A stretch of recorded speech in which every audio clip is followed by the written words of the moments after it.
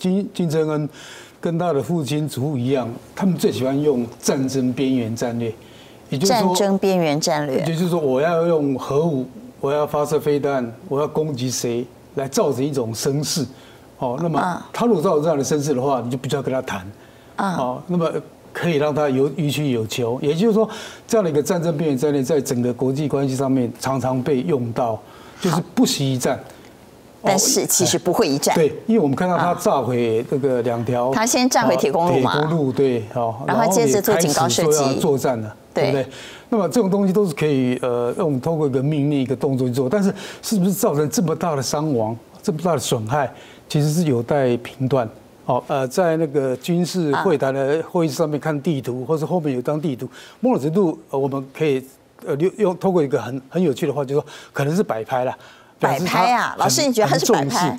表示他很重视这个问题，因为如果真正的这个军事会谈的话，就这张照片，就这张照片，现在这张照片嘛，对不对？应该是排排坐，而不是用一张这样的地图放上去。而且我也觉得这张地图不是很专业啊，可能是一般我们买得到那种地图，而不是那种军用地图。因为军用地图它非常完整清楚，它很多的伎俩啊，炸铁路或是开设火炮专案啊，射击或者做什么都是一个形式的表示。因为对他来讲。那么战争不是他最好的选项，因为他最大的问题是转移国内的视听，因为国内呃这个农村生活很很差，人民吃不饱哈，还有他整个国际社会对他的武器禁运，对他原料的经营，所以对他最近内部压力有很大吗？有有，因为他的农村经济发展都是不是很好。今天话题面对面带你来关心的是，我们知道全世界有四大火药库已经爆了两个，所以现在大家非常担心的是。东北亚火药库的引爆是不是倒数计时呢？在今天特别邀请到淡江国际战略所教授欧明贤欧老师。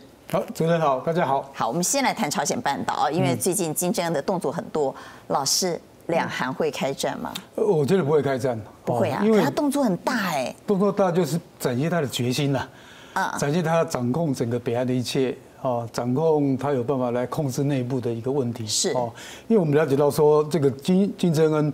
跟他的父亲祖父一样，他们最喜欢用战争边缘战略，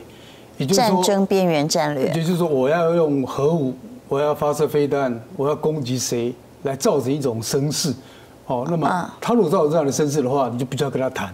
啊，那么可以让他有予取有求，也就是说这样的一个战争边缘战略，在整个国际关系上面常常被用到，就是不惜一战。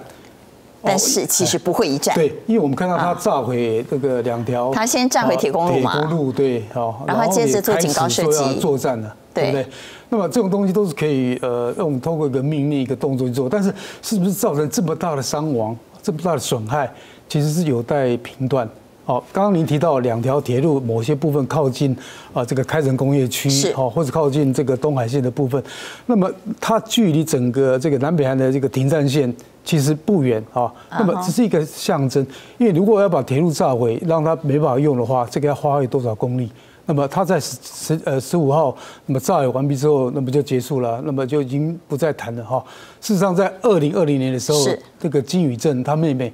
那么也把那个开城工业区有一座北韩跟南韩的联合办公大楼哦，也炸过，大概时间把也在炸过，也炸过，那炸毁就结束了。那换言之，他会但是他这次炸毁没有结束哎，他做了警告射击，然后他公布了一张一百四十万年轻人从军的画面，同时啊，在今天有最新动作，我们看到曝光的照片是他背后有个地图，那好像在看地图，然后再做什么样的指挥。那么外界当然就开始揣测说，哎呀，他到底在做什么事呢？他很有可能就是在研究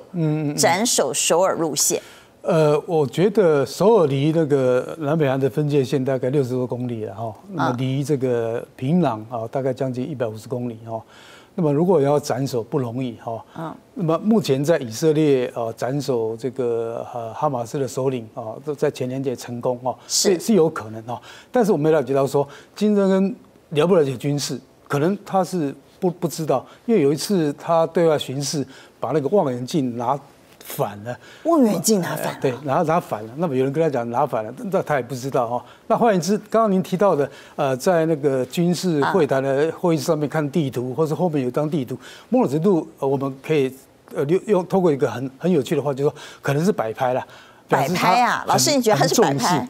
表示他很重视这个问题。因为如果真正的这个军事会谈的话，就是这张照片，就这张照片，现在这张照片嘛，对不对？我们应该是排排坐，而不是用一张这样的地图放上去。而且我也觉得这张地图不是很专业。啊，可能是一般我们买得到那种地图，而不是那种军用地图，因为军用地图它非常完整清楚。所以如果他真的是在研究作战策略，那张地图应该是军用地图，而不是一般我们武器店买得到的地图。而且事实上，如果真的要作战的话，他已经下达前线这个炮兵部队准备随时射击，都已经进入战争状状态了。但是金砖是不受控的，也是不可预测的。对，但是它的它是不可预测，但是也可以预测，也就是说，它很多的伎俩啊，炸铁路。或是开设火炮专案啊，射击或者做什么都是一个形式的表示，因为对他来讲，那么战争不是他最好的选项，因为他最大的问题是转移国内的视听，因为国内呃这个农村生活很很差，人民吃不饱哈，还有他整个国际社会对他的武器禁运，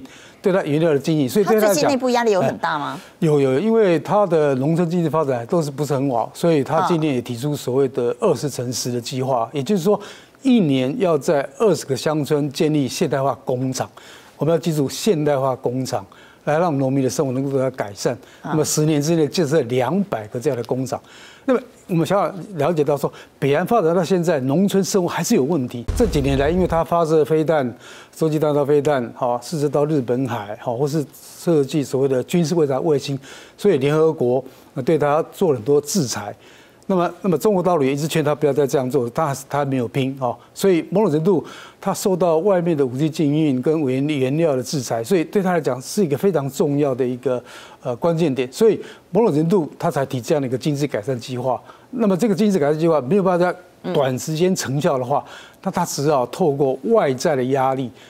对外啊所谓的这个呃声势哈，就是内压转外销啊，然后把这个南韩。弄得很紧张哦，那么整个大家都去注意到说，呃，这个问题在南韩，因为他也修宪哦，修宪把北韩变成敌国，把南韩当做敌国，那也也强调说他们不是同一个民族，他们是不同民族，也不是同一个国家。那两个民族两个国家是敌对国，那我我可不可以用核武？当然可以啊，那我也不同意啦。那我也不讨论未来跟你的好好发展，所以未来如果南韩对北韩有任何的风吹草动，他就可以当借口。所以到底朝鲜半岛现在的紧张是真紧张还是假紧张，还是只是金正恩的一场秀？那刚刚老师帮我们解读了那张照片，就是后面如果这个照片呢，如果真的是要进行斩首行动，后面的地图不可能是一般文具店买得到的地图，应该是军事地图啊。一句话突破盲肠。那么也请老师帮我们解读。一百四十万青年参军，这听起来确实这个数字很惊人哎。呃，我觉得他蛮会做国际宣传的啦，嗯，因为他是独裁专制国家嘛。他说一百四十万就一百四十万，他说两百万也可能。但是我们有看到那个画面哦，那个画面呃，事实上我们老师你不会告诉那画面也是不同角度也是灵眼来排的吧？呃，我觉得有可能，因为如果说十四万，我到到到承认有可能有十四万，因为他的总兵力大概一百多万。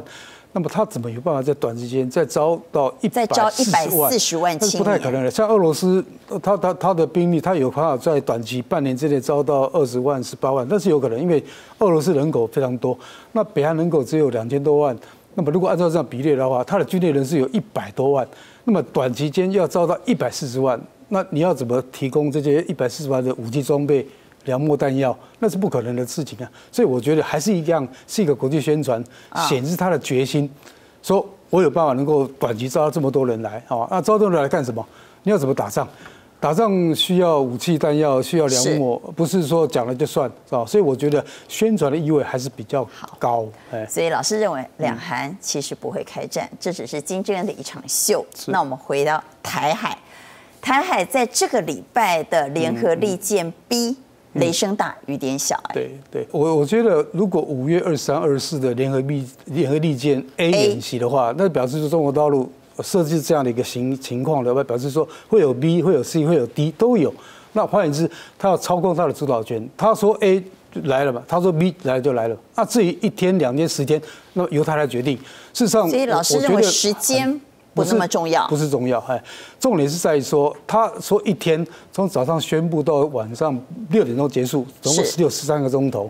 那么他一定有他的演习科目跟目的哈，那么这是他宣布说要呃建构联合呃作战啊战区联合的这个主动权，那么这是一个很重要的一个思维，就是说这个科目他可能达到了，他就结束了哈。那那么这个科目要达到，可以用纸上谈兵的方式来达到。那么也可以有部分的这个军事行动来做这样的事情，那也有很多都是已已经在东部战区年度的训练当中的一个项目，它只是把它整合在一起，所以所以我觉得有点像组合拳的一个态势哈，在这个时间，呃，这个十四号正好那天，呃，前后有什么活动，就把它延长，就把它夸大，变成一个组合拳式的演习哈。那事实上。一天要做到，那我宣布完成，那表达说他的中央军委习近平掌握的非常完整，说我一天就一天，半天就半天。那结束之后，他达到的目的是结束了哈。那我们必须要了解到说，那一天对台湾来讲是一个很大的冲击跟挑战。为什么？我们要自己检讨，因为在他宣布演习的时候，我们整个全全全中华民国的陆海空的一个动员，那么呃，透过我们的。所谓的所谓的从经常战备到紧急危难时期的这个 SOP 的一个作为，那么这个 SOP 作为做出来之后，那经过我们的新闻报道，那么他也在看呐，全世界都在看呐，我们怎么应应？那么这个应应就会让他拿去成为未来在在对我们进行各种不同的演习的一种参数应用，这个对我们来讲是相当不利的。那老师观察我们这次的阴影呢？嗯，我我觉得我们英语是 SOP 完整的一个呃妥善的行为。我们英语非常好啊，也就是说啊，这是按照 SOP 来做，那么也是累积我们这这么多年来的一个经验来做这样的工作。但是我们必须要了解到说，说不定解放军就透过这种方式来呃让你去做 SOP，然后把你的 SOP 参数作为都收集下来之后，那么下一个演习他才在在做不同的科目，让你做不同的英语。那换言之，他会找到未来我们的弱点。啊，未来我们没办法这个呃完成的部分，来成为他下一个演习的目标哈。所以我觉得我们必须要从呃双方尔虞我诈的角度来做这样的一个思考，而不是说呃我们应的很好那就结束了，因为这是可能某种程度是正中他的下怀，因为他就在看让你看一天你怎么应应，那未来三天你怎么应应，未来五天你怎么应应，那这些问题我们相关的单位是怎么应应的问题，那你有没有 SOP，或是你怎么有效应应，也是一个很大的挑战。